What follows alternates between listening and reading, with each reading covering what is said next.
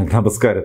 ഇന്ന് ഒരു സീനിയർ സംവിധായകനും തിരക്കഥാകൃത്തുമായി ഞാനിങ്ങനെ ഒരു ചർച്ചയിലിരിക്കുമ്പോൾ അദ്ദേഹം കേരളത്തിലെ ഭരണത്തെക്കുറിച്ച് എന്നോട് സംസാരിച്ചു. അദ്ദേഹം ഒരു നല്ല രാഷ്ട്രീയ വീക്ഷണമുള്ള ഒരാളാണ്. അദ്ദേഹം എന്നോട് പറഞ്ഞു ജോസ് തോമസേ നിങ്ങളൊരു കാര്യം ശ്രദ്ധിച്ചു. മുച്ചൂടും മുടിഞ്ഞിരിക്കുകയാണ് കേരളം. ഇപ്പോഴത്തെ ഈ എൽ ഡി എഫ് മന്ത്രിസഭയുടെ ഭരണം കൊണ്ട്. അത് ഒന്നിനൊന്ന് പാളിപ്പൊക്കൊണ്ടിരിക്കുകയാണ് ഈ പാളിച്ചവടൊന്നും ശരിയാക്കാതെ ഇതിങ്ങനെ തന്നെ തുറന്നുവിടുന്നതിന്റെ കാര്യം എന്താണെന്ന് നിങ്ങൾക്ക് മനസ്സിലായിട്ടുള്ളൂ അദ്ദേഹം പറയുകയാണ് അദ്ദേഹത്തിന് തോന്നുന്നത് ഈ ഭരണപാളിച്ചയിൽ ജനം മടുത്തിട്ട് അവസാനം ബി ജെ പിക്ക് വോട്ട് ചെയ്യും. അങ്ങനെ അടുത്ത ലോക്സഭാ തെരഞ്ഞെടുപ്പിൽ രണ്ട് മൂന്ന് ബി ജെ പി എം പിമാരെ കൊണ്ടുവന്ന് അടുത്ത നിയമസഭാ ഇലക്ഷനിൽ ബി ജെ പി അധികാരത്തിലെത്തിക്കുക എന്നുള്ള സി പി എമ്മിന്റെ ഒരു തന്ത്രമായി കൂടെ ഇത്. കാരണം കോൺഗ്രസിന് ഇനി രക്ഷയില്ല രക്ഷ ഉണ്ടാവരുത്. എനിക്ക് തമാശയായി തോന്നി.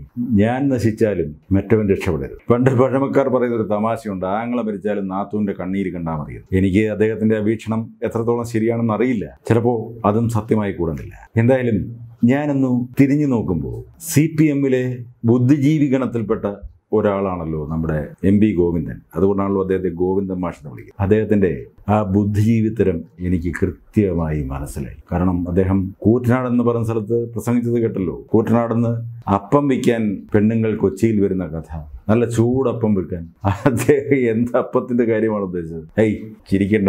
ഞാൻ ഉദ്ദേശിച്ചത് പാലപ്പം കുഴലപ്പം അച്ചപ്പം ചീപ്പപ്പം അങ്ങനെ വിവിധങ്ങളായ അപ്പം ഉണ്ടല്ലോ. അതാണ് ഉദ്ദേശിച്ചത്. ഒരു സാമാന്യ ബുദ്ധിക്ക് നിരക്കുന്ന വർത്തമാനമാണോ ഗോവിന്ദ അത്? എനിക്കറിയില്ല. പിന്നെ പാലായിൽ ഒരു സ്ഥലത്ത് ഒരു പ്രൈവറ്റ് ബസ് സ്റ്റാൻഡിൽ മീറ്റിംഗ് നടത്തി. അവിടെ ജനങ്ങൾക്ക് ഒരുപാട് ബുദ്ധിമുട്ടുണ്ടായി. അപ്പോൾ അദ്ദേഹം പറഞ്ഞത്രേ ഇത് ജനകീയ പ്രതിരോധ യാത്രയാണ്. അപ്പോൾ ജനങ്ങൾ കുറച്ചൊക്കെ ബുദ്ധിമുട്ടേണ്ടി വരും. ജനങ്ങൾ ബുദ്ധിമുട്ടിയാൽ എന്താ? അവർക്ക് വേണ്ടിയല്ലേ? അവിടെ കേട്ടതെന്ന് ഒരു കാരണവർ പറഞ്ഞത്രേ എന്റെ ഗോവിന്ദ നിങ്ങളുടെ ഭരണം കൊണ്ട് ഇവിടെ ജനം സഹികെട്ടിരിക്കുകയാണ്. ഇനി ഈ ബസ് സ്റ്റാൻഡും കൂടി അങ്ങോട്ട് വളച്ചു കെട്ടി ഞങ്ങളെ ഇനിയും സഹിപ്പിക്കണം. സാമാന്യ ബോധമുള്ളവർ പറയുന്ന കാര്യമല്ലേ തൃശ്ശൂർ അടുത്ത് എവിടെയോ ഒരു സ്കൂളിലെ ബസ് സർക്കാർ സ്കൂളിലെ കുട്ടികളെ കൊണ്ടുപോകുന്ന ബസ്സാണ്. ജാഥയ്ക്ക് ആളെ കൊണ്ടുപോയി. അതിന് പതിനാലായിരം രൂപ പിഴയിടാക്കിയിരിക്കും ഞങ്ങളുടെ സർക്കാർ ഞങ്ങളുടെ സ്കൂൾ അതുകൊണ്ട് തന്നെ ആ വണ്ടിയിൽ ഞങ്ങൾ ഞങ്ങളുടെ ആൾക്കാരെ കൊണ്ടുപോകുമ്പോൾ അതിനാരാ പിഴയിടാൻ എന്ന് ചോദിച്ചു കണ്ടില്ല. പിഴ ഖജനാവിൽ നടക്കുമാരി. അടയ്ക്കട്ടെ സർക്കാരിന്റെ പൈസയില്ലേ? എന്ന് വെച്ചാൽ നികുതി പണമല്ലേ? ജനങ്ങൾ കൊടുക്കണം. ഇപ്പോൾ രജിസ്ട്രേഷൻ ഫീസ് കൂട്ടിയിരിക്കുന്നു. വീടിന്റെ ടാക്സ് കൂട്ടിയിരിക്കുന്നു. അഡ്വാൻസ് ടാക്സ് അടയ്ക്കണം. അങ്ങനെ ആരെങ്കിലും ഒരു ഇഞ്ച് വീട് കൂടുതലായി പണിതിട്ടുണ്ടെങ്കിൽ അവരിൽ നിന്ന് പിഴ ഈടാക്കും. കാരണം സർക്കാരിലേക്ക് പണം വേണ്ടേ? ഈ ഹിമാലയത്തോളം കൂട്ടിയ ശമ്പളം കൊടുത്തു തീർക്കണ്ടേ? അല്ലാതെ എന്ത് ചെയ്യും? ആരും ഇതിനെക്കുറിച്ചൊന്നും ചോദിക്കരുത്. ഗോവിന്ദൻ മാഷ് പിന്നെയും പറഞ്ഞ ഒരുപാട് തമാശകളുണ്ട്. മൈക്കുകാരനെ ചീത്ത വിളിച്ചത് കേട്ടില്ലേ? ആ മൈക്കുകാരൻ ചെയ്തത് തെറ്റായി പോയില്ലേ? അദ്ദേഹം സംസാരിക്കുന്നത് ജനങ്ങൾക്ക് കേൾക്കാൻ പാടില്ല എന്ന് തോന്നിയപ്പോൾ ചെന്ന് മൈക്ക് ശരിയാക്കി കൊടുത്തത് ചെയ്യാൻ പാടുള്ളതാണ്? ഇനി അത് മാത്രമല്ല സൗമ്യശീലനാണ് ഗോവിന്ദൻ എന്ന് പറയാറുണ്ട്. പക്ഷേ ആരുടെ കൂടെയാണ് കൂടിയിരിക്കുന്നത്? നമ്മുടെ ആ ധീരശൂര പരാക്രമിയുടെ കൂടെ സന്ത സഹചാരിയായി നടന്നാൽ ആ സംസർഗം ആ ഗുണം കിട്ടാതിരിക്കും. ദേഷ്യം മൂക്കുന്നുമ്പത്തല്ലേ നമ്മുടെ മഹാരാജാവിന്? നിയമസഭയിലൊക്കെ കിടന്ന് കലിച്ചു തുള്ളുന്നത് കണ്ടിട്ടില്ലേ? സ്പീക്കറോട് പറയാണ് സാറ് കേൾക്കുന്നില്ലേ ഇത്? എന്ത്? സാറെന്താ പൊട്ടനാണ്? നിങ്ങളുടെ സംസാരത്തിൽ പൊട്ടനാണോ എന്ന് തോന്നിപ്പോകും. ബഹുമാനപ്പെട്ട സ്പീക്കറെ നമുക്ക് കുറ്റം പറയാൻ പറ്റില്ല. കാരണം അദ്ദേഹം സി പി എംകാരനാണ് അദ്ദേഹം ഈ മഹാരാജാവിന്റെ അടിമയാണ്. എനിക്ക് തോന്നുന്നത് സ്പീക്കറായിട്ടൊക്കെ ഒരു രാഷ്ട്രീയ പാർട്ടിയുടെ അല്ലെ ഭരിക്കുന്ന കക്ഷിയുടെ ആളെ വെക്കാൻ പാടില്ല. ഈ നിയമങ്ങളൊക്കെ മാറ്റണം. കാരണം പക്ഷാപാതപരമായി പെരുമാറും എന്നുള്ളത് നിസ്തർക്കമായ കാര്യമാണ്. എന്തൊക്കെയായാലും അദ്ദേഹം ഭരിക്കുന്ന ആ കക്ഷിയുടെ ആളല്ലേ. അവരെന്ത് തെറ്റ് ചെയ്താലും അതിട്ട് മൂടാൻ അത് രേഖയിൽ വരാതിരിക്കാനൊക്കെ ശ്രമിക്കില്ലേ? അത് സ്വാഭാവികമല്ലേ? ആ പാർട്ടി മെമ്പറായ ആ പാർട്ടിയുടെ ലേബലിൽ ലയിച്ചു വന്ന ആ സ്പീക്കർക്ക് അങ്ങനെയൊക്കെയല്ലേ ചെയ്യാൻ കഴിയും? അതിന് ഇവിടെ സ്പീക്കറെ കുറ്റം പറഞ്ഞിട്ട് കാര്യമുണ്ടോ? ഏയ് ഈ പ്രതിപക്ഷത്തിന്റെ കാര്യം കഷ്ടമാണ് കേട്ടോ. എന്ത് വന്നാലും ഭരണപക്ഷത്തെ കുറ്റം പറയുക. മുഖ്യമന്ത്രി അങ്ങനെയാണ്. ദേഷ്യപ്പെടണം. ഈ കേരളം ഭരിക്കുന്ന ആളല്ലേ. ഭരണം എന്ന് പറയുന്നത് ജനസേവനമാണെന്ന് നിങ്ങളോട് ആരാ പറഞ്ഞത്? ജനങ്ങളോട് ആരാ പറഞ്ഞത്? ജനസേവനമൊന്നുമല്ല ഭരിക്കുക എന്ന് പറഞ്ഞാൽ ഭരിക്കുക. അതായത് നിങ്ങൾ അങ്ങോട്ട് പോകൂ എന്ന് പറഞ്ഞാൽ അങ്ങോട്ട് പോകണം ഇങ്ങോട്ട് വരണമെന്ന് പറഞ്ഞാൽ ഇങ്ങോട്ട് വരണം.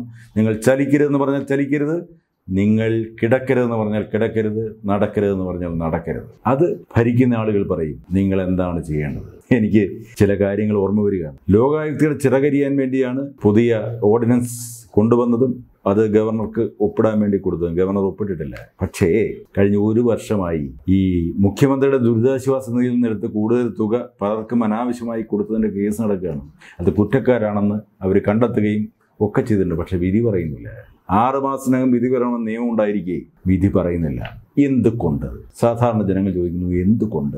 എന്തുകൊണ്ടാണെന്ന് ചോദിച്ചാൽ ജീവനിൽ ഭയമുള്ളതുകൊണ്ട് ആ ലോകായുക്തയുടെ തലപ്പത്തിരിക്കുന്ന ജഡ്ജി അത് ചെയ്യുന്നില്ല. എന്നല്ലേ നമ്മൾ കരുതേണ്ടത്? സ്വാഭാവികമല്ലേ? കാരണം അങ്ങനെ ഒരു വിധി പറഞ്ഞാൽ ആ വിധി ഭരണകർത്താവിനെതിരാകും അപ്പോൾ സ്വാഭാവികമായി രാജിവെക്കേണ്ടി വരും. അതുകൊണ്ട് ആ ലോകായുക്തയുടെ ചിറകരിഞ്ഞുകൊണ്ടുള്ള ഓർഡിനൻസിൽ ഗവർണർ എങ്ങാനും ഒപ്പിട്ടാലോ? ഗവർണറെ അതിനുവേണ്ടി അനുനയിപ്പിക്കാൻ വേണ്ടി ഒരുപാട് ശ്രമം നടത്തുന്നുണ്ട്.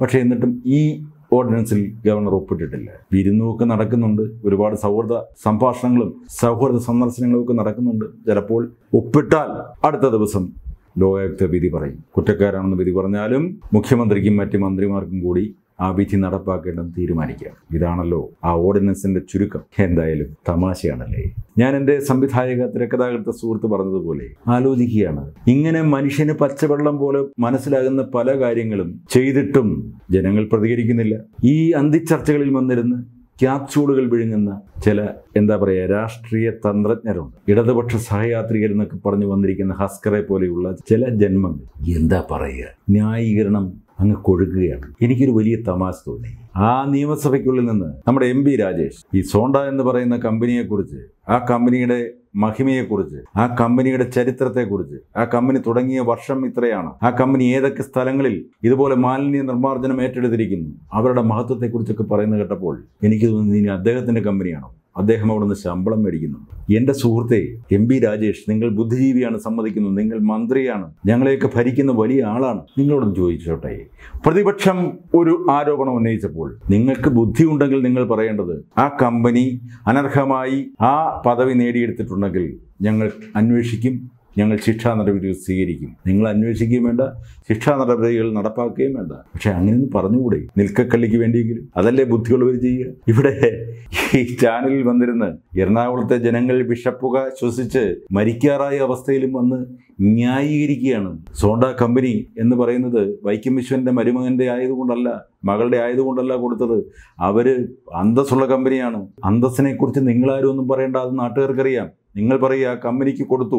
അവർ ക്രമക്കേട് നടത്തിയിട്ടുണ്ടെങ്കിൽ ഞങ്ങൾ അവർക്കെതിരെ നടപടി സ്വീകരിക്കും എന്ന് പറഞ്ഞ് രക്ഷപ്പെടാനുള്ള പഴുതെങ്കിലും ഇല്ലാത്ത ബുദ്ധിഹീനരെ നിങ്ങൾ എങ്ങനെയാണ് ഈ നാട് ഭരിക്കുന്നത്? നിങ്ങൾ എങ്ങനെയാണ് ജനങ്ങളെ സേവിക്കുന്നത്? ഇപ്പോൾ ദാ പുതിയ തെളിവുകൾ പുറത്തു വന്നിരിക്കുന്നു. അസോണ്ട സോണ്ട കമ്പനി അമ്പത് കോടിയിലധികം രൂപയ്ക്ക് മേടിച്ച കരാർ പതിനേഴ് കോടി രൂപയ്ക്ക് മറിച്ചു കൊടുത്തിരിക്കുന്നു. വെറുതെ കൈയും കെട്ടിയിരുന്ന് നികുതി പണത്തിൽ നിന്നും ഉണ്ണുന്ന ഇതുപോലെയുള്ള രാഷ്ട്രീയ കെങ്കരന്മാരുടെ സേവകരെ നിങ്ങൾക്ക് ആ കഷ്ടം. ഇനിയും പറഞ്ഞാൽ തീരാത്തത്ര വിഷയങ്ങൾ കിടക്കുകയാണ്. ഈ ഇന്ത്യയിൽ ഒരു ഭരണാധികാരിയെ തിരഞ്ഞെടുക്കുമ്പോൾ അല്ലെങ്കിൽ ഒരാൾക്കൊരു നിയമസഭാ സീറ്റ് കൊടുക്കുകയോ അല്ലെങ്കിൽ ഒരു പാർലമെന്റ് സീറ്റ് കൊടുക്കുകയോ ഒക്കെ ചെയ്യുമ്പോൾ പാരമ്പര്യം പറയുന്നത് എന്താണ്? അത് ഒരു പാർട്ടിക്ക് വേണ്ടി പോസ്റ്റ് റോട്ട് നടന്നു. പിന്നീട് ഒരുപാട് കേസുകളിൽ ജയിലിൽ പോയി. ഇതൊക്കെയാണ് മഹത്വം. അവനെത്ര വിദ്യാഭ്യാസമുണ്ട്. അവനെത്ര ലോകപരിചയമുണ്ട്. അവന് ലോകവീക്ഷണമുള്ള ആളാണോ കാഴ്ചപ്പാടുള്ള ആളാണോ എന്നൊന്നും നോക്കാറില്ല. അതൊന്നും ഒരു അന്തസ്സിന്റെ മാനദണ്ഡമായി കണ്ടിട്ടില്ല. ഇവരെത്ര കാലം ജയിലിൽ കിടന്നു? പാർട്ടിക്ക് വേണ്ടി എത്ര തല്ലുകൊണ്ടു? പാർട്ടിക്ക് വേണ്ടി എത്ര പോലീസ് ജീപ്പ് കത്തിച്ചു? എത്ര K S R T C ബസ്സുകൾ തല്ലിച്ചതച്ചു എന്നൊക്കെയുള്ളതാണ് ഇതിന്റെ പാരമ്പര്യം പറയുന്നത്. ഒരു സ്ഥാനാർത്ഥിയാവാനുള്ള യോഗ്യത. ഇന്നത്തെ ഈ മന്ത്രിസഭയിലുള്ള എല്ലാ മന്ത്രിമാരുടെയും കഴിവുകളെ കുറിച്ചൊക്കെ ഞാൻ പറയേണ്ട. വിദ്യാഭ്യാസ മന്ത്രി ശിവൻകുട്ടി കഴിഞ്ഞ ദിവസം ഒരു പ്രസ്താവന നിയമസഭയിൽ വെച്ച് നടന്നു നിയമസഭയുടെ അന്തസ് കളഞ്ഞു കുളിക്കുന്ന തരത്തിലാണ് പ്രതിപക്ഷം പെരുമാറുന്നത്. ഇങ്ങനെ ഒരു ഒരു സമരം നിയമസഭ കണ്ടിട്ടില്ല. ഇന്നത്തെ പത്രത്തിൽ വായിച്ചു. അദ്ദേഹം പറയുന്നു ട്രോൾ എന്നവർ ട്രോളട്ടെ. ഞങ്ങളൊക്കെ അന്തസ്സുള്ള സമരം കാഴ്ചവെച്ചവരാണ്. മുണ്ട് മടക്കി കുത്തി അണ്ടർവെയറും വെളിയിൽ കാണിച്ച് ആ സ്പീക്കറുടെ ഡയസിൽ കയറി ആ മേശയുടെ മുകളിലൂടെ നടന്ന ശിവൻകുട്ടിയെ ഇവിടെ ആരും മറന്നിട്ടില്ല. മനുഷ്യർക്ക് അൾഷേമേഴ്സ് ഒന്നും ബാധിച്ചിട്ടില്ല. പക്ഷേ ഇങ്ങനെ പച്ചയ്ക്ക് ക്യാമറയുടെ മുമ്പിലൊക്കെ നോക്കി പറയാൻ എങ്ങനെ സാധിക്കുന്നു? മുഖ്യമന്ത്രി ദാ കണ്ണൂർ പോയി പ്രസംഗിക്കുന്നത് ഞാൻ ടി വി കണ്ടതാണ്. സംസ്കാരമെന്നൊന്നില്ലേ? ഇങ്ങനെയാണോ പ്രതിപക്ഷം നിയമസഭയിൽ സമരം നടത്തുന്നത്? ഞങ്ങൾ എത്ര സൗമ്യമായിട്ടാണ് പെരുമാറിയത്? വാച്ചാമ്പാടിനെ അവർ അതിക്രമിച്ചില്ലേ? അതിനിടയ്ക്ക് ഏതോ ഒരുത്തം പറഞ്ഞു രമയുടെ കൈ ഒടിഞ്ഞിട്ടില്ല. കെ കെ രമ വെറുതെ പോയി പ്ലാസ്റ്റർ ഇട്ടതാണ് ആ തിരുമണ്ടൻ അത് ഗോവിന്ദനും അതിന് കൂട്ടുപിടിച്ചു. അവൻ പറയുന്നത് പാർട്ടിയെ തന്നെ കുറ്റപ്പെടുത്തുകയാണെന്ന് മനസ്സിലാക്കുന്നില്ല. ഗവൺമെന്റ് ഹോസ്പിറ്റലിൽ അവിടുത്തെ ഡോക്ടർമാരാണ് കൈ പ്ലാസ്റ്റർ ഇട്ടത് എന്നിട്ട് തിരുമണ്ടന്മാർ സോഷ്യൽ മീഡിയയിലൂടെ അഴിഞ്ഞാടുകയാണ്. ഏതോ ഒരു എക്സ്റേ കാണിച്ചിട്ട്. അത് രമയുടെ അല്ല. എന്നിട്ട് പറയാണ് രമയുടെ കൈക്ക് പൊട്ടലൊന്നും ഉണ്ടായില്ല. കള്ളത്തരമാണ് കാണിച്ചത്.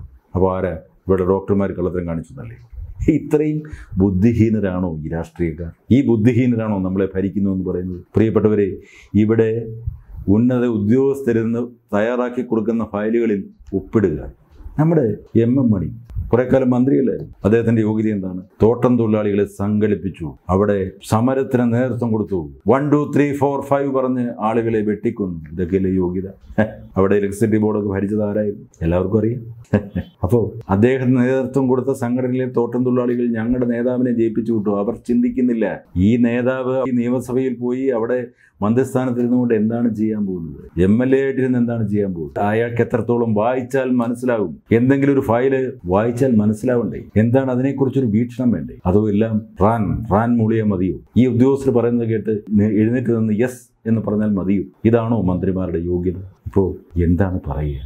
നമ്മൾ ഗതികെട്ടവർ വോട്ട് ചെയ്യുക എന്ന് പറഞ്ഞ് മാത്രം പ്രവർത്തി ചെയ്യുന്ന നമ്മൾ ബുദ്ധിഹീനരായി മാറുകയാണ്. എനിക്കറിയാഞ്ഞിട്ട് ചോദിക്കുക നികുതി കൊടുക്കാൻ പറയുമ്പോൾ കൊടുക്കുക കൂട്ടുമ്പോൾ അത് കൊടുക്കാൻ പറയുമ്പോൾ കൊടുക്കുക ഒരു ചോദ്യം ചോദിക്കാൻ പോലും ഒരാൾക്കും കഴിയുന്നില്ല. ഇവിടെ കേരളത്തിൽ ഇരുപത്തിയേഴ് വകുപ്പാണ് മുഖ്യമന്ത്രിയുടെ കീഴിലുള്ളത്. നമ്മുടെ കെ രാധാകൃഷ്ണൻ എന്നൊക്കെ പറയുന്ന മന്ത്രിമാർക്ക് മൂന്ന് വകുപ്പ് രണ്ട് വകുപ്പ് എന്തിനാണ് ഇത്രയും മന്ത്രിമാർ? കൂടെ നിൽക്കുന്ന എല്ലാവർക്കും ഓരോ പദവി കൊടുക്കാൻ വേണ്ടി മന്ത്രിമാരെ കൂട്ടുന്നു. പത്ത് മന്ത്രിമാർ മതി നമുക്ക് കേരളത്തിൽ. നിങ്ങൾ ഇനിയെങ്കിലും വോട്ട് ചോദിച്ചു വരുന്നവരോട് ചോദിക്കുമോ നിങ്ങളുടെ മുന്നണി അധികാരത്തിലെത്തിയാൽ എത്ര മന്ത്രിമാർ മന്ത്രിമാരുണ്ടാവും എത്ര പേഴ്സണൽ സ്റ്റാഫ് ഉണ്ടാവും? ചോദിക്കും. ഒരിക്കലുമില്ല ചോദിക്കാൻ നിങ്ങൾക്ക് നാവ് പൊന്തില്ല. ഒന്നുകിൽ നിങ്ങൾ രാഷ്ട്രീയ അടിമയാണ്. അത് കോൺഗ്രസ് ആയാലും ബി ജെ പി ആയാലും സി പി എം ആയാലും എൻ സി പി ആയാലും ഏത് പാർട്ടിയായാലും അതിൽ മെമ്പർഷിപ്പ് എടുത്തു പോയാൽ പിന്നെ അവർ ചെയ്യുന്നതല്ല ശരി. അടിമയാണ്. ഈ അടിമത്തം എന്ന് ഉപേക്ഷിക്കുന്നു അന്ന് മാത്രമേ ജനത രക്ഷപ്പെടൂ. ചിന്തിക്കുന്ന ജനതയെ രക്ഷപ്പെടൂ. പ്രവർത്തിക്കുന്ന ജനതയെ രക്ഷപ്പെടൂ. നിങ്ങൾ തൊഴിലെടുത്ത് ഈ നികുതി മാത്രം കൊടുത്തുകൊണ്ട് ഏറാം മൂളികളായി നിൽക്കുന്ന എല്ലാ കാലത്തോളം കേരളമെന്നല്ല ഒരു രാജ്യവും ഗതിപിടിക്കില്ല മറ്റ് വിദേശ രാജ്യങ്ങൾ വളരുന്നുണ്ടെങ്കിൽ നിങ്ങൾ നോക്കുക.